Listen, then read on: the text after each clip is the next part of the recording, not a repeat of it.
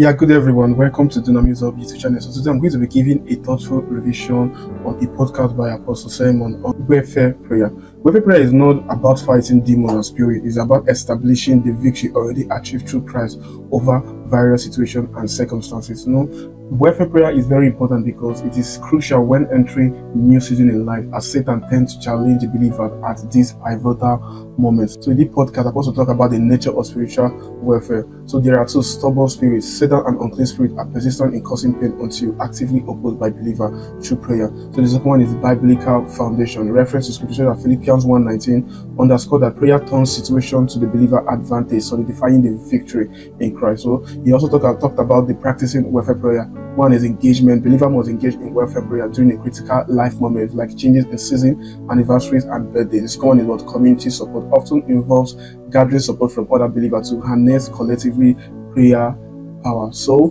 believers must continually engage in warfare prayer to protect themselves and their spiritual community from persi- persistent spiritual attacks. Please make sure you like, share this video, and make sure you also drop comments. Thank you so much. Warfare, warfare this one I will not even be tempted to delve in. I will just touch it in a hurry. Else we'll spend the whole day here. Warfare, prayer, warfare, prayer. Hmm.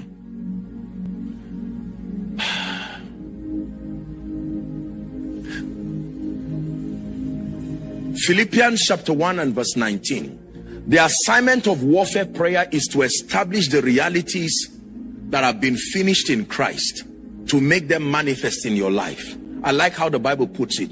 To turn anything to your salvation is the assignment of warfare prayer. Warfare prayer is not about fighting demons.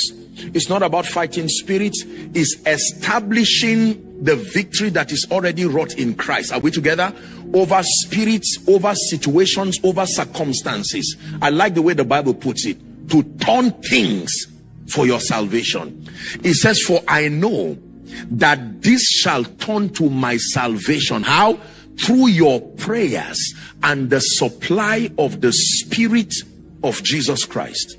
I know that this disappointment, I know that this attack, my God, there are things every believer must know. I know that this family crisis, I know that this court case, the assignment of warfare is to turn anything to your advantage. Anything.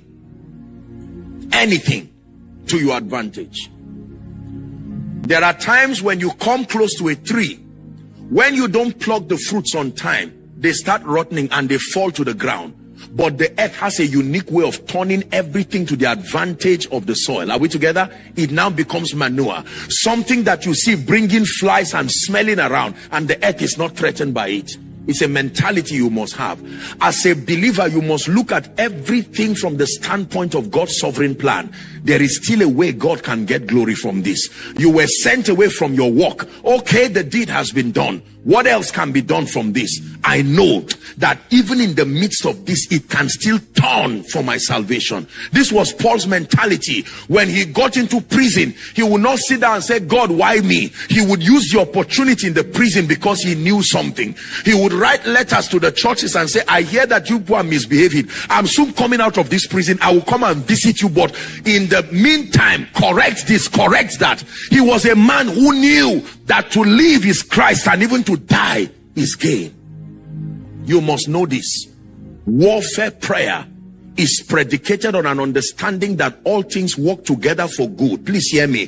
To them that love God, not to everybody. All things work together for good to them that love God and to them who are the called according to his purposes. Believe that all things are working for your good. Truly believe it. The disappointment, the joblessness, including what you think is happening nationally. Lord, I don't know how you do this, but because I am the called, it must work for my good. In the name of Jesus Christ, work for my good. And you engage in the place of prayer. Are we together? Yeah. Scriptural prayer model. You may want to correct that. I see someone projecting my message. Scriptural prayer models ends with an S. Scriptural prayer models, please. Thank you. scriptural prayer models, warfare. Now, there are people who do not believe in warfare prayer. It depends on what you call warfare. I personally do not believe in an endless struggle of fighting demons and fighting spirits with no victory in view. That becomes an insult to what Christ has done on the cross. Are we together? Yes. However, let me assure you that nothing gets established on its own. Satan and all unclean spirits are stubborn spirits, meaning that they have a passion to insist on your pain until you disengage them by light.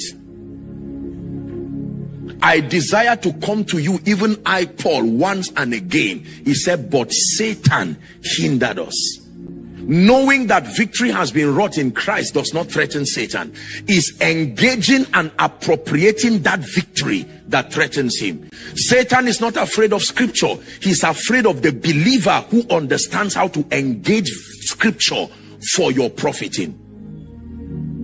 Hallelujah. He will kill anything he's allowed to kill, steal anything he's allowed to steal, and you believe me on this destroy anything he's allowed to destroy. This is the assignment of warfare prayer. Haven't done all to stand, stand. Don't assume that God loves your children so much they will be nice, wonderful, and disciplined people. Engage in the spirit. When you see the cloud, when you see the formation of darkness, that is the time to take on your priestly regalia and get to the place of prayer.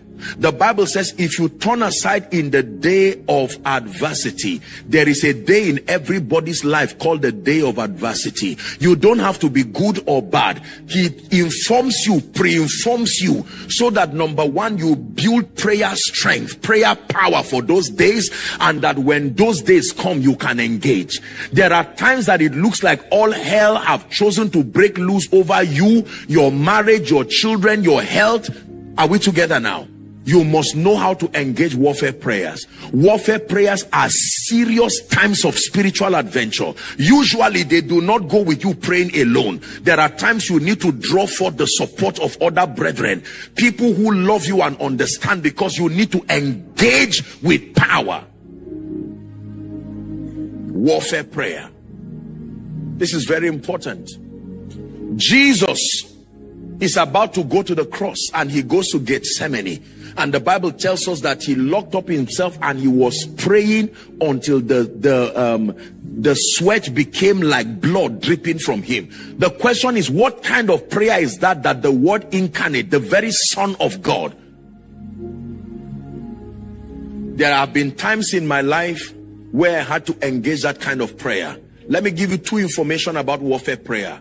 Every time seasons are about to change, this is the kind of prayer you need to engage in because Satan will always start at stand at the corridor of new seasons. Birthday periods, anniversary periods. Do you know it was during I told you yesterday, it was during a man's birthday that a prophet's head went away. I have taught my people and trained them that before you celebrate your birthday, if your birthday is on the 12th, by 9th or 10th or 11th, you should have some time of retreat. Now, not many, it's not a, it's not a scriptural injunction, it's just a prophetic guide. I don't believe in people sleeping and snoring themselves into defining seasons. No, that is a careless Christian, in my opinion, honestly. Honestly.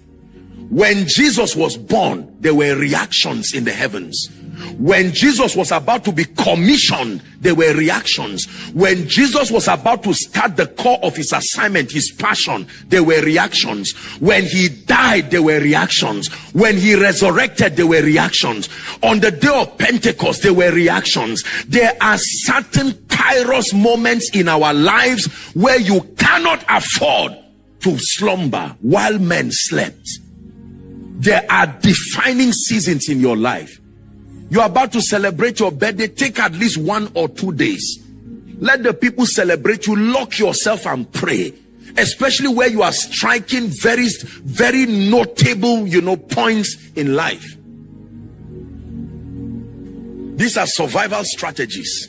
Everybody who wants to live serving the purposes of the kingdom and to walk in victory must understand warfare prayer. I will never allow Satan come and roam around my vicinity unattended to. I have the responsibility of sanitizing my spiritual atmosphere and I must do that without fail. He will not respect the fact that you are a man of God. That is not his business. I think I may have said it here. Let me say this and then one point and we'll wrap up.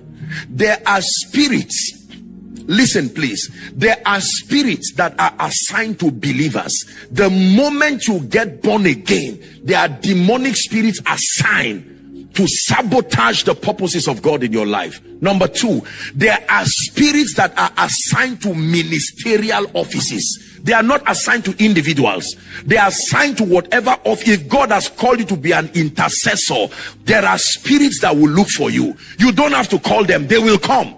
They were sent to pursue every intercessor because the devil knows the power of prophetic intercession. There are spirits that are assigned to regions. So you relocated to Lagos. Welcome. But there are spirits it's not only Bureau of Statistics that are where you came. There are spirits who are where you have arrived. Do you know why? They begin to mold you to look like the deformities within that territory. If that territory is known for poverty, if you like be a multimillionaire, if you don't have spiritual intelligence, you can step into that territory and mysteriously things will start going bad. It's true. It's true one court case after another, one trouble after another. Or they will tell you that three of your relatives need a kidney transplant, 16,000 per one. Can you bring out 50 million? And all these troubles just plague you. In a moment, you dry to look like the spirit of the region. I wish I were lying to you. I would have just told you I'm sorry, but it's true. That also includes overseas. So overseas does not have a special closeness to the throne room. No, it's just that the people are a lot more enlightened than we are now, and their policies work a lot better than it does here. But as far as the attack of spirits, the whole earth lies in wickedness. You will find spirits everywhere. Now imagine the spirits that attack you as a believer, then a man of God, spirits that attack families, because there is a prophet, there is an apostle that is coming there, and you don't even know where the attack is coming from. You would have looked at all of these people in the Bible and seen the kind of attack that came over them. What is the what am I looking for now? I'm sure Mary would look at her child and say, Why do they want to kill my baby? As for me, I've made a covenant with God that for as long as I'm alive, I will keep Satan far from my life, the ministry God has given me, and everybody God has brought under my care. I take it as a responsibility. One thing I can tell you, Satan is not. He's not a friend. He's not an advisor. There is no discussion you should have with Satan. He is evil, the epitome of evil. He will kill anything he's allowed to kill. I've been sick before. I know what it means to have mysterious infirmities. warfare prayers.